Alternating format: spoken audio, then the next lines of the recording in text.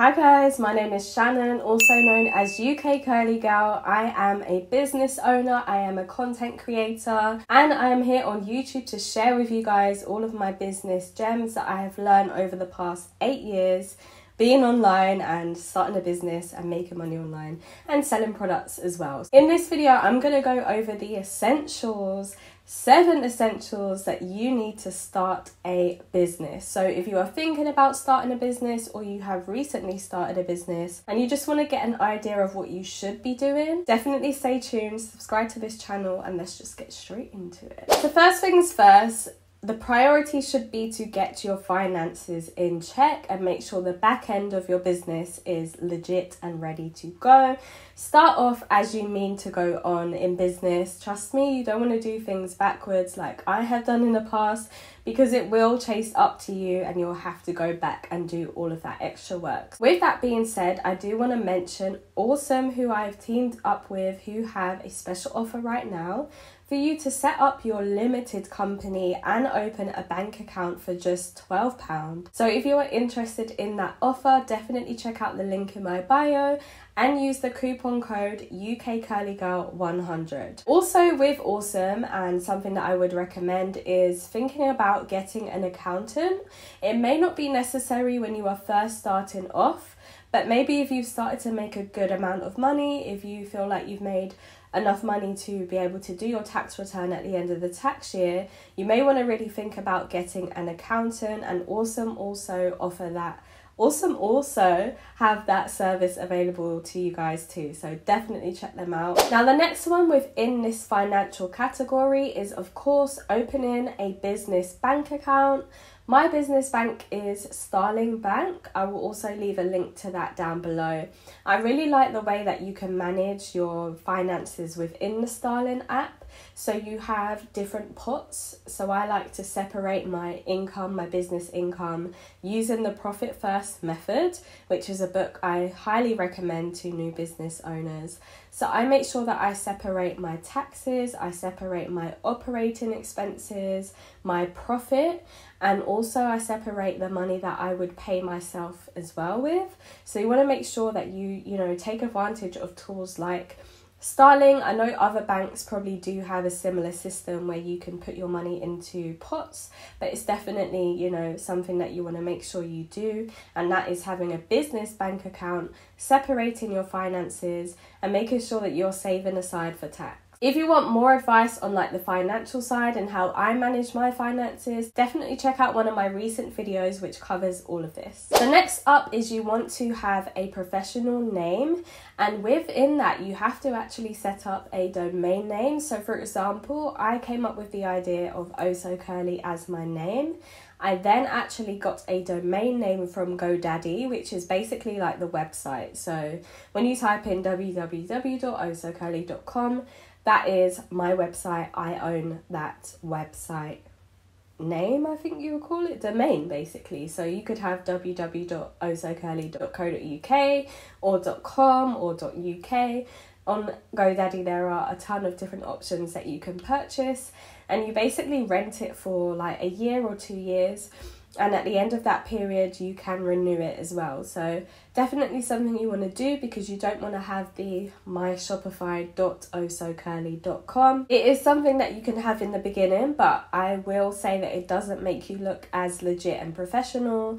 And i would kind of feel like if i was shopping on a site that had like myshopify.ohsocurly.com i'd feel like you are a newer business and i'm not sure if i can trust or maybe i want to wait a while until like more customers have shopped with you just in case like this is a brand new business and things aren't set in order. So if you want to start off looking professional, I would recommend purchasing a domain name. They're not very expensive at all. Along with that, you may want to also get a business address so that you don't have to share your personal address on emails or on your website.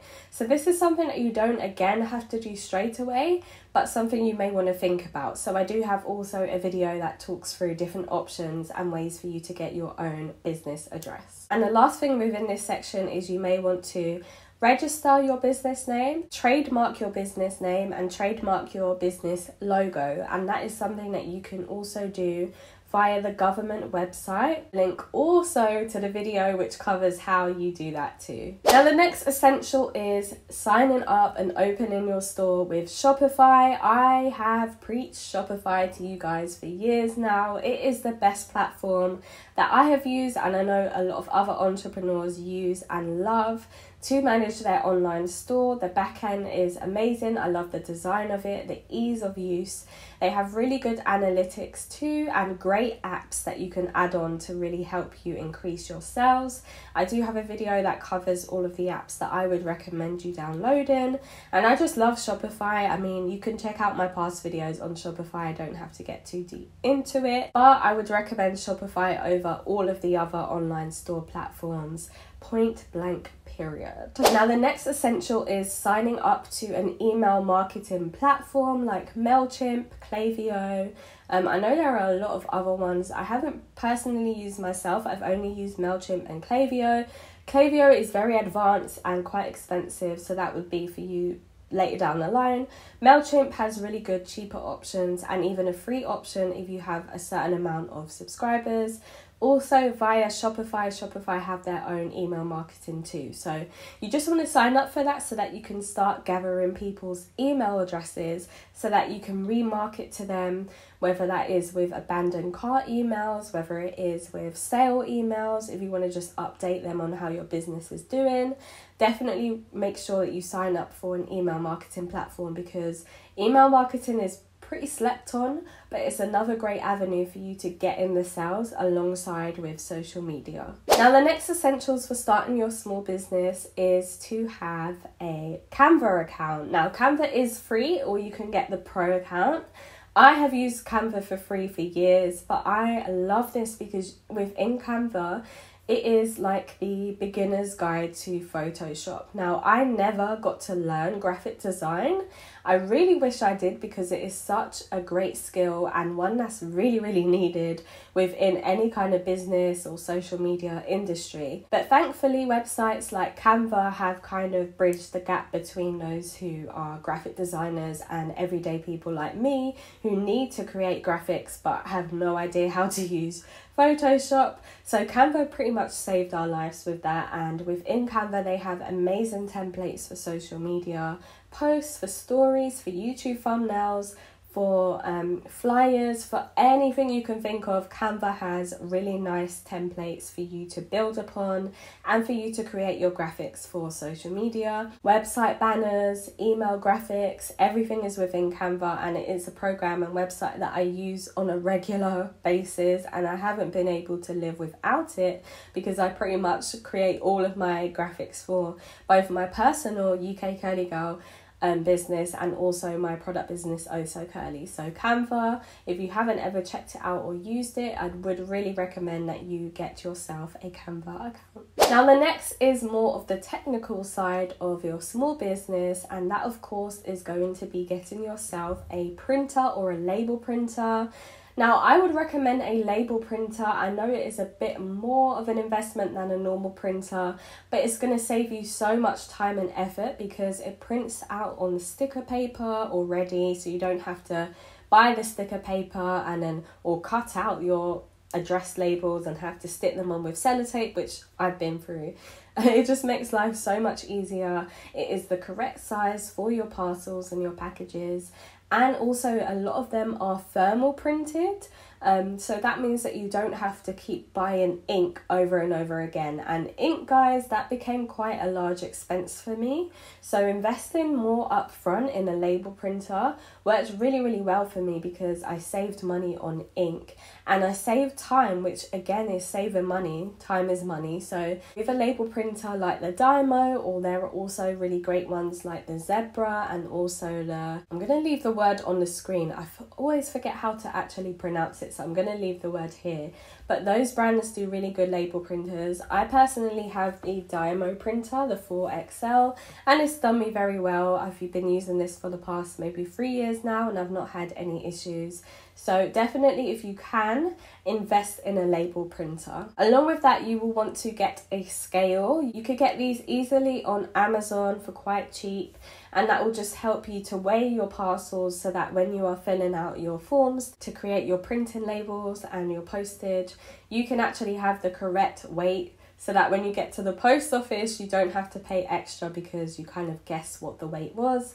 Get yourself a scale and save you again time and money. Along with that, on Amazon, you can purchase your poly bags, your boxes, and also your bubble wrap if you need bubble wrap, or if you need peanuts too. All of those supplies are pretty much on eBay, Amazon, or there are independent shops that you can buy from as well. I do have a video that shares where I get all of my packaging supplies from. So again, I will leave that down below too. Now the last but probably the most important thing that I want to mention and is essential for small business owners when you are first starting is your mindset.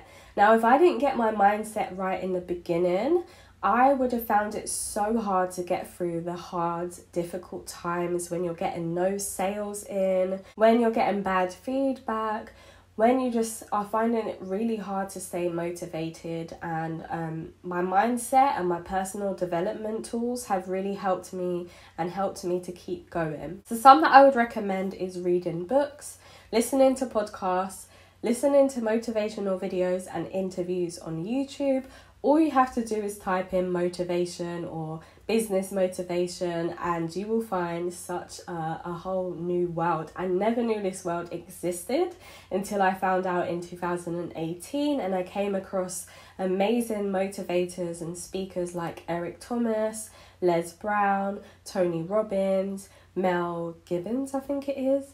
There are just so many amazing speakers and people out there that are motivating on a daily basis. And let's be honest, being a business owner is not easy and it is not for the weak. So you will need at some point a boost to keep you going and that's where your like mentors online come in really handy. I'll leave a link down below to my favorite podcasts and my favorite books and stuff that I like to read that have helped me during the down times as a business owner. So those are my seven essentials for starting a small business. I hope those helped. Definitely let me know down below what small business you are currently running or thinking about starting. I'd love to hear where everyone is from and what kind of businesses they are doing. If you like this content, make sure you check out these two videos here and definitely subscribe and I'll catch you guys in the next one. Bye.